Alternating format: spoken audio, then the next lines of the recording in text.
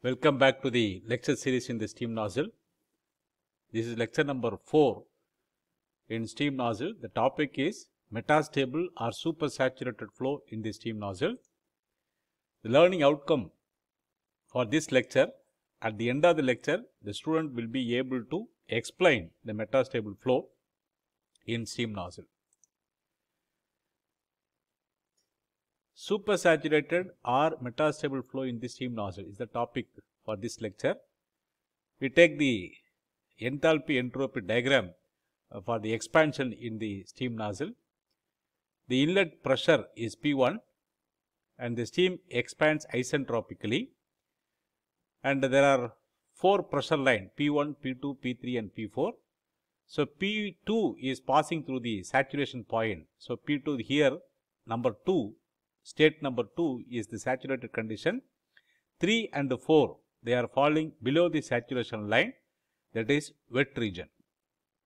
So, P4, P3 are the lower pressure. So, the steam expands from P1 to P4 in the nozzle. So, you look at the expansion line. So, it is isentropy expansion. So, at 1 it is superheated steam. It is expanding. The pressure decreases, quality of the steam decreases, temperature is also decreasing. So, temperature decreases, pressure decreases, quality of the steam is decreasing. So, the superheated steam temperatures keep on decreasing at, at this point it is saturation temperature. So, saturation line the temperature is saturation temperature. So, the below the saturation line the steam is expected to become wet steam. So, below the saturation line the steam is expected to become wet steam and at this point 3 it is wet steam 4 is also wet steam. But that is not happening in a real uh, real time in a steam nozzle when the enthalpy decreases pressure decreases there is increase in velocity of the steam. So, the pressure decreases and the velocity is increasing. So, when the steam pressure decreases the velocities keep on increasing the ultimate aim of the uh, nozzle is to produce the highest possible velocity. So, here the velocity is high as the steam further expands it is expected to become wet steam, but it is being delayed. So, the steam conversion the vapor conversion into liquid that is condensation process is delayed. The reason is very high steam velocity. So, the uh, how the condensation taking place the vapor molecules join together and form a water molecule. So, the because the velocity is very high the steam is moving with very high speed the time available for the uh, vapor molecules to join together and become liquid molecule it is getting delayed and the steam is continue as a dry saturated steam up to the point 3. So, for this particular line up to the point 3 then after 3 it becomes wet steam. Now, for different expansion line similar vertical lines you can draw for different expansion. So, through the point 3 we draw a dotted line and this line is Wilson line. So, below the Wilson line this the steam is wet steam between the saturation line and Wilson line the flow is called as supersaturated flow or metastable flow and in this region the steam continue as dry saturated steam and this phenomena is called as supersaturated or metastable flow in the steam nozzle. So, the flow is also called as supercooled flow because between pressure P2 and P3 the temperature of the steam is always lower than the saturation temperature corresponding to that pressure. The temperature decreases, but the process of condensation is delayed. Process of water formation is delayed. The difference between the temperature is called as degree of undercooling.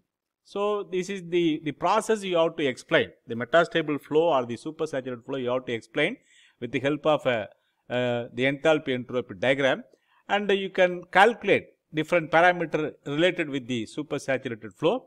The first parameter is degree of undercooling. So, degree of undercooling equal to saturation temperature at exit pressure minus temperature at the end of the supersaturated flow. That is the degree of undercooling and degree of supersaturation exit pressure divided by nozzle exit pressure divided by saturation pressure at the exit temperature of the supersaturated flow. This is degree of supersaturation. These two are important parameter in the supersaturated flow And for solving the problem, to solve the problem in the supersaturated flow, the various equations, uh, we are not going to derive, we just uh, use the equations to calculate the various parameter. First, the enthalpy drop, H1 minus H2 equal to N by N minus 1, P1 into V1 multiplied by 1 minus P2 by P1 to the power N minus 1 by N, where N is the polytropic index for the particular stream. Velocity of the steam at the end of the expansion V2 equal to square root of 2 into n by n minus 1 P1 V1 into 1 minus P2 by P1 to the power n minus 1 by n. And the specific volume at the end of the supersaturation V2 equal to V1 into P1 by P2 to the power 1 by n. The apparent temperature, the temperature at the end of the supersaturation T2 equal to T1 into P2 by P1 to the power n minus 1 by n. And the exit area A2 equal to m into small v to specific volume divided by the velocity at the end of the supersaturated flow, supersaturated expansion.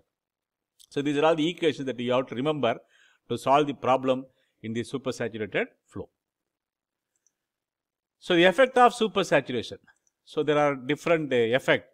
The supersaturation increases the entropy and specific volume of the steam. So, because the uh, condensation is process delayed, the entropy increases, specific volume of the steam is also increasing. The supersaturation increases the dryness fraction of the steam. The supersaturation reduces the heat drop below that of the thermal equilibrium which causes the decrease in exit velocity. So, the second, the, since the condensation does not occur during the supersaturated expansion, the temperature at which the supersaturation occurs will be less than the saturation temperature corresponding to that pressure. So, if you look at the 4 point, if you look at here, entropy specific volume increases, dryness fraction increases, but the enthalpy decreases, velocity is also decreases. So, this is the effect of supersaturation in the steam nozzle. Now, we have some quiz question to understand the, uh, uh, recall the concept, the limit of supersaturated flow. So, in, we have explained the super, supersaturated flow with the help of a enthalpy entropy diagram. So, what is the limit for the supersaturated flow? So, there are different uh, options pressure line, saturation line, Wilson line, dry, dryness fraction line. The correct answer is Wilson line. So, Wilson line is the limit for the supersaturated flow. So, below the Wilson line it becomes wet steam. Between the saturation line and the uh, so Wilson line the flow continue as dry saturated steam. In the region of supersaturated flow the steam is considered considered as dry saturated steam, wet steam, superheated steam, supersaturated steam. The correct answer is dry saturated steam. So, in the supersaturated flow regime, the steam is considered as a dry saturated steam. Supersaturation increases enthalpy drop, entropy, exit velocity and temperature.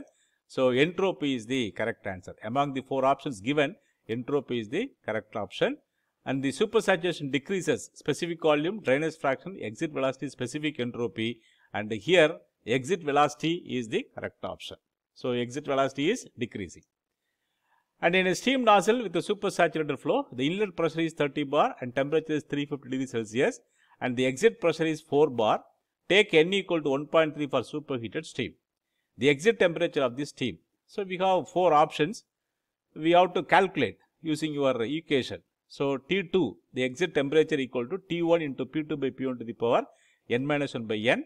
So, substituting 350 plus 273 multiplied by 4 by 30 to the power 1.3 minus 1 divided by 1.3 calculating it is 391.2 Kelvin or 118.2 degree Celsius. So, the correct answer is 118.2 degree Celsius. So, we stop here. So, thank you for watching. Please post your comments on the comments box. You can contact me uh, through my uh, details, contact details for any clarification on the subject. So, we will meet again with another video lecture in the steam nozzle. Until then, bye.